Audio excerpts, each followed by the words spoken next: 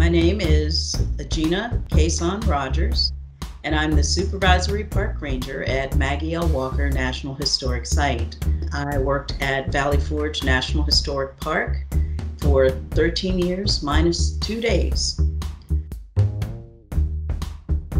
One day, uh, I was there at Washington's headquarters when a teacher came in and she was doing some research for a program, a research for an education program for her students. She came from Fredericksburg, Virginia, and we started doing a little small talk there. And I went into my uh, normal greeting. Welcome to Washington's headquarters. This is the place where General Washington and his uh, staff lived for the six months of the Valley Forge winter encampment. Then she turned to me and said, But who else was here? What about the others who were here? And at that point, I couldn't give her an answer.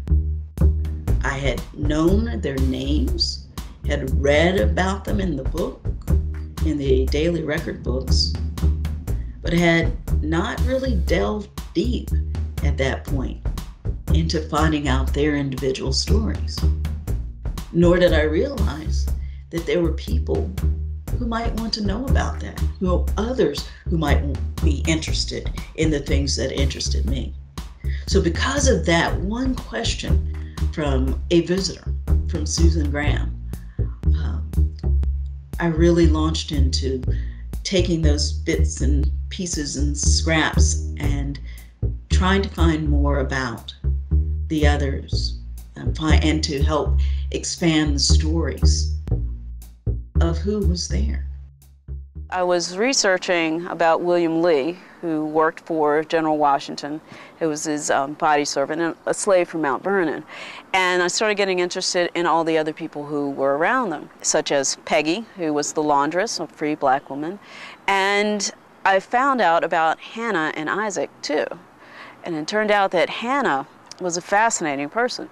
She lives to be 104 years old, actually, and she's interviewed when she was 102 years old. And so just that made me wonder what was her life like? What I learned about Hannah was that uh, she was there and present in the records, but you really had to search for her. The way I first learned about her was through uh, looking at some of the account books, and you kept seeing names like um, um, Negro Hannah or Isaac, money for Isaac to buy things. Through working for the General for six and a half years and for a few months for Lafayette, she and her husband earned their uh, enough money to buy their freedom and name themselves Hannah Till. So it's shorthand to call her Hannah Till. But during the time that she was at Valley Forge, she would have been known as Servant Hannah or Negro Hannah. And it turned out that these people were right there, part of Washington's family of his household, as he would say. The, the servants and the slaves who were there, who in the background were keeping everything running. Uh, it really helped us open up the story to show that George Washington's headquarters was a very, very busy place. People coming and going, uh, uh, congressmen coming in to check on things, and, and officers coming by, and soldiers on relief uh, coming by. And, and then who is keeping all of those things running? It until Mrs. Washington got there, it would have been Mrs. Thompson, who was the the uh, housekeeper and traveled with George Washington for many years.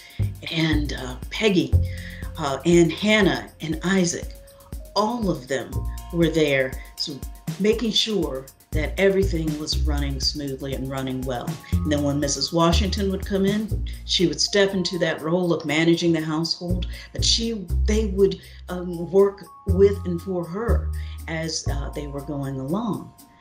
Um, so, when you're trying to piece together a story of someone who has not been written about as extensively as the officers at Valley Forge, per se, you do have to collect sources where you can can find them and piece those sources together because in their lifetime these individuals were not considered important enough to write about.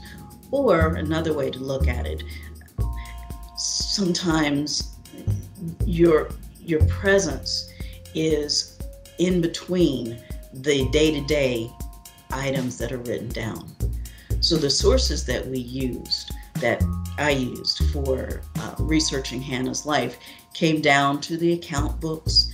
She was interviewed um, for the Annals of Philadelphia, and in this account, it listed that she was a pastry cook, that she was a pastry chef.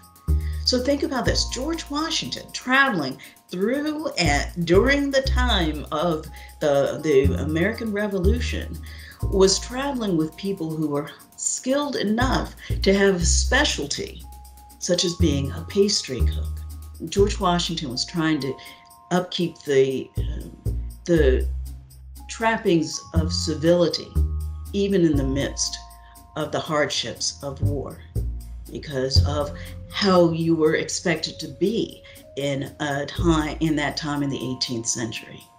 It was a, a genuinely time uh, and he they were just not backwoods people. Um, they were uh, trying to make sure that people knew that they were fighting for freedom, for freedom for their country. That they were of the same level as the English gentlemen and officers. Hannah and Isaac and the others who were working in the general's household were adding to that sense of normalcy for George Washington's level and expectation of a person of his status. So in Hannah, you had a story of a person who was working for people who were fighting for freedom while she was being held in bondage. How do you reconcile that? They fight, Isaac, they fight for the cause of freeing this nation.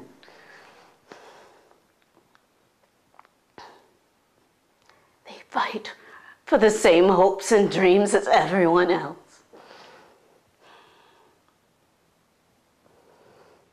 How did George Washington's officers, such as John Laurens and Alexander Hamilton, reconcile that? Did those young men go along with the prevailing idea that it was fine to talk about slavery, uh, you know, uh, fine to talk about Britain's tyranny and enslaving us while keeping others perpetually in bondage. So it brought up the, the, the, the stories of how, how youth can often look at things in a different way than the elders and shake things up. All of these things were pieces that I would start to put together sitting in the windowsill at Washington's headquarters. And sometimes it could be pretty quiet there, and uh, it would be time to read through the daily account records and uh, think about who else was there but altogether, you know, I thought this was just something that I was interested in, something that was fun for me to do. By doing the research into Hannah, though, I was able to discover that people were interested in hearing not only about the well known or the famous people who were at the encampment, but they wanted to learn more about the people that might be more like what they might have been if they had been picked up from their time and put into George Washington's time.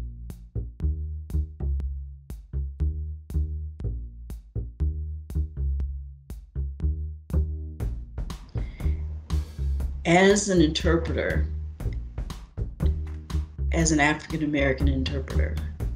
I'm in, expected to be able to interpret the traditional main story. But the story of people who look like me had once been considered an add on, a niche. It is not. We all should be able to tell some bit of all of these stories in the normal, everyday run of our interpretation and relate them to the traditional normative narrative. It doesn't take away from the narratives that we have been taught in school or that we have heard coming up. You start with a baseline and then add more variety. It becomes like a instead of having this the same old meal over and over and over again, it's presented more as a smorgasbord where you can get a variety, and then it's a more satisfying story in the end, a more satisfying meal in the end. If you can make the people that are in these places human it makes them uh, relatable, not so unattainable, not so much on a pedestal. That is the way that we um, are functioning and living in this world now. it, it's not that they are not our heroes. We, we need to have our heroes too, but we also know that heroes stumble sometimes it takes all people living in this world to make the experiences that we talk about in our national parks because we're all part of a continuum, all part of it. Someday our people will be telling our story. What will they have to work with? What will they have to truly tell about the things that we are currently going through? Because what we are doing now will be affecting people for generations to come. How do I know this? Because through the park service and the stories that we tell in the, and even the ones that have been untold for far too long, we can trace the things that have uplifted us as a people and things that have torn us apart as a people. If you think life is cut and dry, um, this and not that, then you haven't really been living. Um,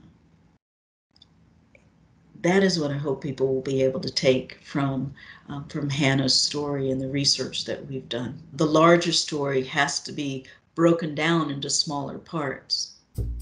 And if you can take a person such as Hannah and break the story down into a part that someone out there can identify with, that's doing an incredible service to those who come and visit our, our, our special places that we, that we protect and preserve. And so that's why I've, I've worked so hard to these past nine years to bring her story to life. And I feel very honored and privileged to be able to do that to be able to speak for someone who wasn't allowed to speak back when they were alive.